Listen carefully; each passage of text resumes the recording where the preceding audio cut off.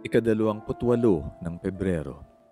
Biyernes, pagkaraan ng Miyerkules ng Abo. Ang mabuting balita ng Panginoon ayon kay San Mateo.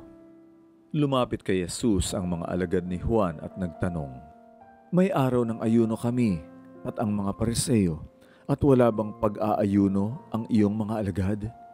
Sinagot sila ni Jesus, Pwede bang magluksa ang mga abay sa kasalan habang kasama pa nila ang nobyo?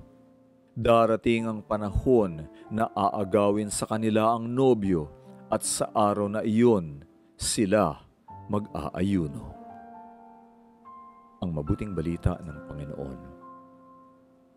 Pagsasadiwa, pwede bang magluksa ang mga abay sa kasalan habang kasama pa nila ang nobyo? Ipinaglaban ni Jesus ang mga alagad niya sa tagpong ito. Ginamit niya ang okasyon ng kasal upang ipakita kung gaano kahalaga ang pagparito niya sa mundo.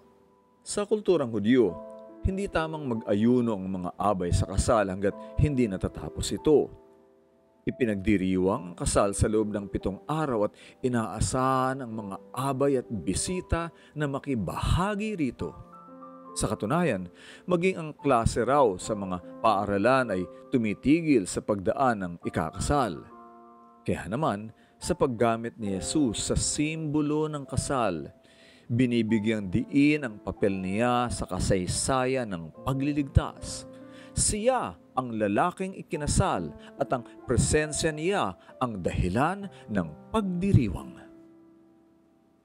Pagsasagawa, paano mo pinagdiriwang ang presensya ng Panginoon sa buhay mo?